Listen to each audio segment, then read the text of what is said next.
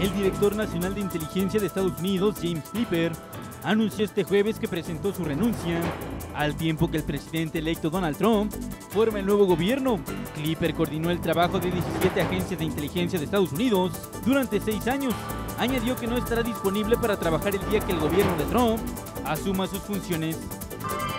Turquía expulsó a más de 20.000 miembros de las Fuerzas Armadas desde el fallido golpe de Estado por parte de la milicia a mediados de julio de este 2016, informó este jueves el presidente turco Recep Erdogan.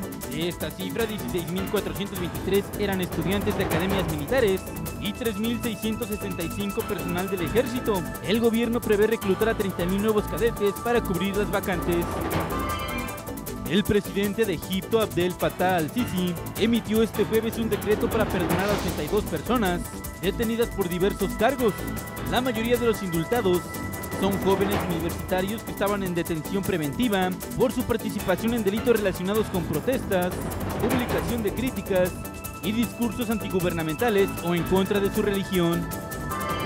La ex candidata demócrata a la Casa Blanca, Hillary Clinton, llamó este jueves a los estadounidenses a renovar la lucha por un país más unido ante su derrota electoral que dejó al descubierto las profundas divisiones nacionales. Crean en su país, luchen por nuestros valores y nunca, nunca se rindan, pidió la exsecretaria de Estado.